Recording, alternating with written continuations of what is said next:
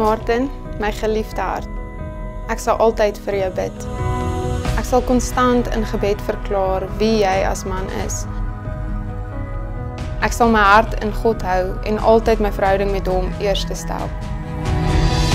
Ek sal ons verhouding as die hoogste menslike verhouding eer en jou altyd eerste stel. Karen Prinses.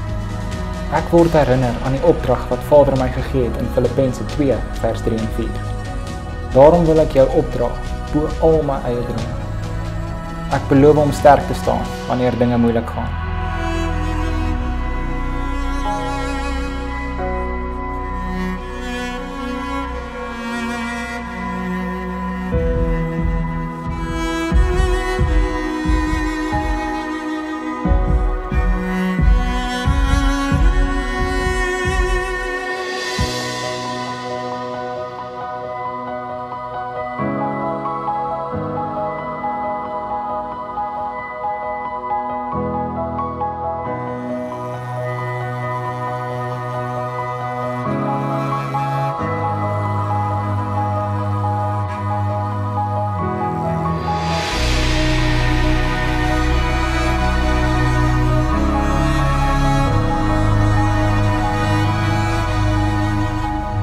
Beloof om jou op te bou, om jou vas te hou en saam met jou die lewe te dien.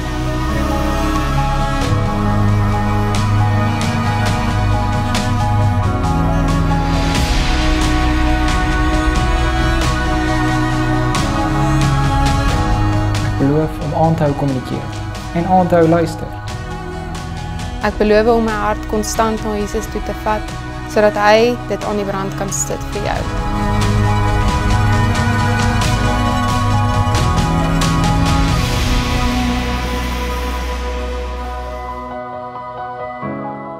Ek beloof dat ek met jou sal bly kommunikeer.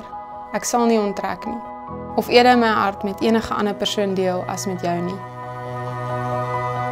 Ek beloof om aan te hou deel wat ek in jou raak sien en hoe God jou raak sien.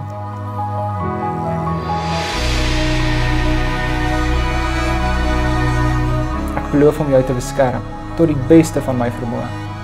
Ek beloof om jou hart te koester, jou huilskouer te wees en jou oor te wees.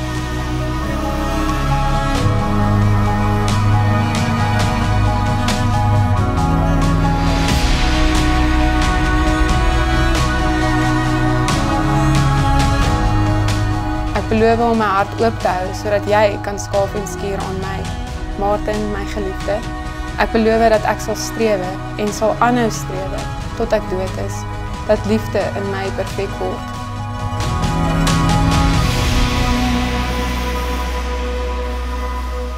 Beloof om jou lief te hê, jou skouers te masseer en jou voete te was, letterlik en figuurlik. Ek beloof om by die Vader se voete te bly. My prinses, ek sien uit om die lewe saam met jou te dien.